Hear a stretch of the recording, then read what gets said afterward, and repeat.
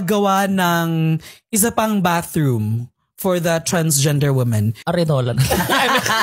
Mag-bound ka na lang. Para like sure. What we need is just to be fairly treated and I want them to feel safe. So for me, I want us to have a third bathroom. Parang hindi naman na kailangan kasi ang nangyayari, there's segregation between the uh, heterosexual and then the baliko. Bakit kailangan may segregation? Hindi naman namin kailangan ng special treatment. Ang dami pang problema ng bansa. Bakit uunahin natin yung third bathroom? May BFF kasi ako, transgender man siya. Tapos hindi ko na-notice sa kanya na pag lumalabas kami, nagmumall kami, hindi talaga siya nagsa-CR. So parang one day, I asked him, sabi ko, hindi ka ba naiihi? Mm. Kasi umiinom kami nun eh. Sabi niya, hindi, okay lang, okay lang ako. Kumbaga nagsi-CR lang siya every time may neutral bathrooms na. Sabi ko, bakit hindi ka pumunta sa lalaki? Mm. Sabi niya, ayoko, ayokong ano, hindi mo kailangang matakot. Mm. Magsi-CR ka lang eh. It's a human need. do we need a third bathroom ba sa mga establishments? Mm. For me, it's not necessity, but they should also consider to have third bathroom. Kaya hindi ako nagsi-CR talaga sa public, lalo na sa mga malls. Kasi parang nasanay ako na sa babae ako na ano, nagsi-CR sa office. Nag-CR ako dun sa pambabae, dun sa mall. May parang tumawag ng guard,